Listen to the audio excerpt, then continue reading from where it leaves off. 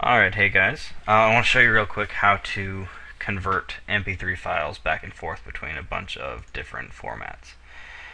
Um, so let's go ahead and grab some music real quick.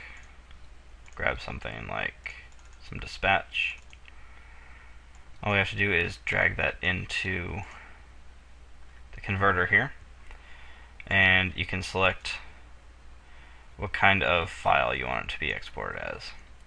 Um, since we're doing music, obviously we want to do one of these audio only ones. Uh, so let's go ahead and change it over to OGG. Currently it's an MP3 like you can see right here, but OGG is usually uh, smaller file format, and a lot of MP3 players will play these these days, so you can fit even more on there. And I'm going to save it to uh, desktop music, and we can go ahead and hit start. And uh, as you see, it won't take very long at all per song.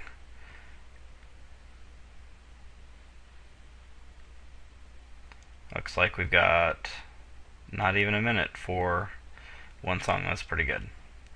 Alright, so I'm going to go and pause this and let it finish real quick.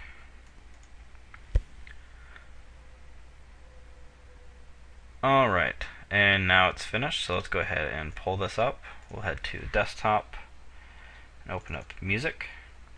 And you'll see here, we now have an Ogg Vorbis file created in I'd say about 30 seconds.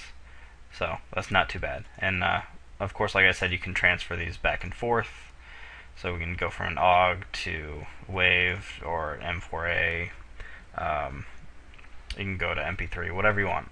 Super easy. Um, you can get this at convertfiles.info. Um, I put a link below the video in case anybody has any trouble typing that in or whatever. So yeah, um, this I uh, forgot to mention this is uh, free software. Uh, don't have to pay a single dime for it, and it's super easy to use. So yeah, go ahead and get it if you plan on converting any files like this.